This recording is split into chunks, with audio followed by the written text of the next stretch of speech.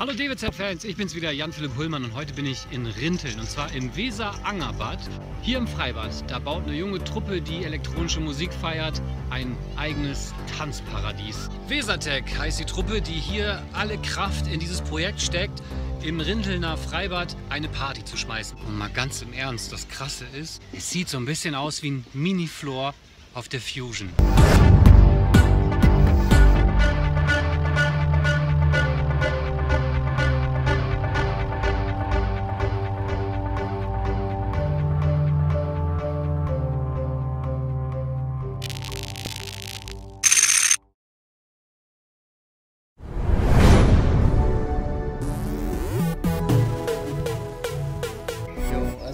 Am Anfang stand hier einfach nichts und als wir dann die Zäune aufgebaut haben, wusste ich einfach, das wird fett.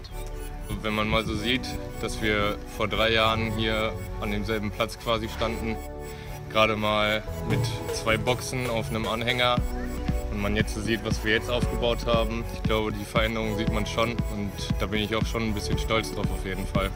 Ich bin auf jeden Fall auch stolz auf unsere Truppe, unsere 19 Jungs und ich hoffe, es wird noch sehr viel weitergehen mit uns.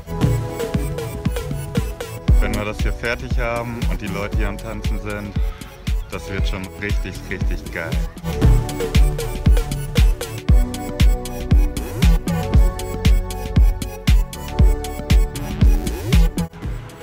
Achso, ja, eine Sache sollte man vielleicht noch erwähnen. Und zwar bei der Party am Samstag ist natürlich Schwimmen im Freibad erlaubt. Viel Spaß!